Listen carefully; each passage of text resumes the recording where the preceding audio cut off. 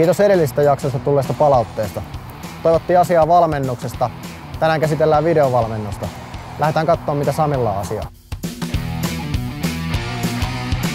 Apuvalmentamisen lisäksi mä toimin tässä myös videovalmentajana ja lähtökohtaisesti mun peleissä mun pääkallopaikkana toimii toi pieni pöytä tuossa TV-tasojen alapuolella, mitä kautta missä mä katson peliä, mulle tulee suoraan syötetään videokoneeseen ja oikeastaan jokainen tapahtuma, mitä otteluaikana tapahtuu, niin napautetaan meille tänne talteen ja sitä kautta me päästään suoraan analysoimaan, olisi tilanne mikä tahansa oikeastaan, mitä siellä on tapahtunut.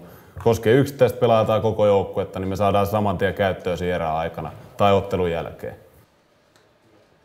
Eli tämä hyöty esimerkiksi erätauolla meidän kohdalla on se, että jos meillä on joku pieni asia, mikä mättää omassa pelaamisessa, niin me päästään heti siihen kiinni niiden tilanteiden kautta, mitkä ollaan naputeltu tähän koneelle. Ja sitä kautta me pystytään parantamaan myös, se auttaa meidän pelin kehittymisessä yksittäisen ottelunkin aikana jo. Esimerkiksi edellinen peli oli hyvä esimerkki, siinä pieniä asioita pystytään viilaamaan, sitä kautta ottaa se iso steppi seuraava erä. Totta kai tämä on vaan pelillisiä asioita varten, se tunteeseen tämä tietokone ei hirveän paljon pysty vaikuttamaan. Mutta tässä on ihan selkeät fakta ja dataa siitä, mitä on tapahtunut edellisessä erässä.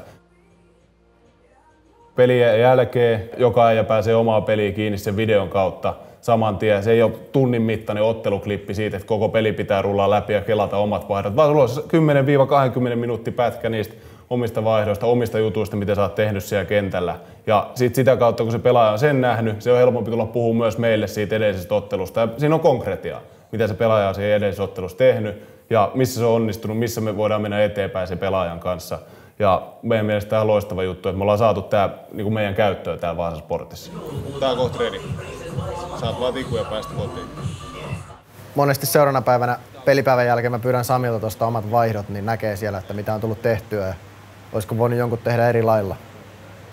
Esimerkiksi ylivoimakentän kanssa käydään usein läpi videolta, että miten, miten tehdään ylivoimahaut ja kuviot siellä, siellä hyökkäyspäässä. Että usein videolta sen näkee, että siinä on enemmän aikaa kuin miltä tuntuu siinä tilanteessa. Ja, ja, ja jos tulee erimielisyyksiä siitä, että ketjukaveri huutaa, että miksi et nähnyt mua tuossa tai muuta, niin, niin sitten voidaan tarkistaa videolta, että mikä siinä on ollut syynä ja voidaan korjata tilanteet seuraavaan peliin pelipäivä aamuna usein katsotaan muutaman minuutin klipit vastustajasta, että mitä ne tekee alivoimalla tai mitä tekee ylivoimalla ja mitkä asiat siellä mahdollisesti toistuu usein, että osataan puolustaa niitä vastaan ja sitten ehkä jos on asioita, mihin pystytään iskeä hyökkäyspelissä, niin semmoiset katsotaan, katsotaan valmiiksi.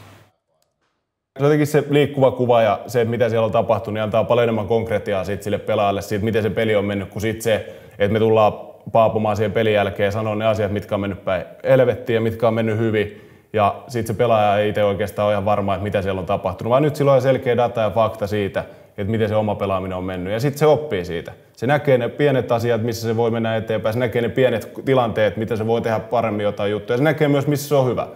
Paljon tapahtuu kuitenkin joka ajan kohdalla hyviä asioita pelissä. Niin se on myös tärkeää, että nekin näkyy siinä videolla ja saa hyvää itseluottamusta siitä sieltä.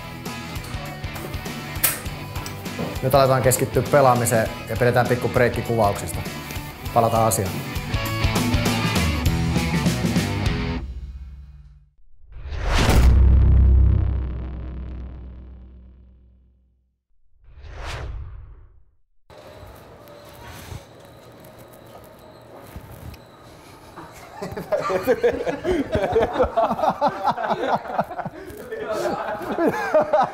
Hyvä kohtaaminen.